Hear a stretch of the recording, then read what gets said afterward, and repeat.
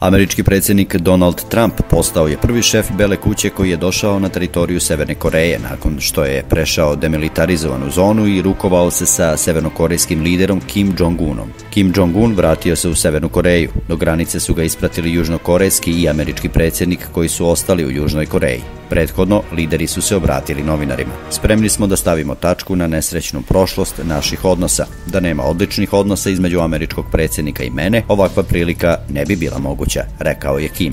Trump ga je potom još jednom pohvalio. Čujete li snagu u ovom glasu? A on inače ne drži pres konferencije, rekao je Trump i obratio se Kimu rečima, postigao si da obojica dobro izgledamo pred medijima, stvorili smo sjajan odnos. Nakon bilateralnog sastanka sa severnokorejskim liderom, prvi čovek SAD-a rekao je da je dogovoreno da se razgovori o nuklearnom programu ponovo pokrenu, nakon što je samit u Hanoj početkom godine iznenada prekinut. Upravo smo imali veoma, veoma dobar sastanak. Složili smo se da ćemo obojica napraviti timove za razgovor koji će pokušati da razrade neke detalje, rekao je Trump nakon 40-minutnog susreta. Američki tim će voditi trenutni američki specijalni predstavnik za Severnu Koreju Steven Biegun, rekao je Trump, dodajući srećno Steve. Predsjednik SAD-a rekao je da će timovi početi da rade i da se sastaju u naredne dve do tri nedelje, ali je insistirao da ne želi da se žuri sa sporazumom. Dva lidera održala su bilateralni sastanak koji je trajao oko 40 minuta, a razgovori su održani iza zatvorenih vrata. Pretpostavlja se da je tema bila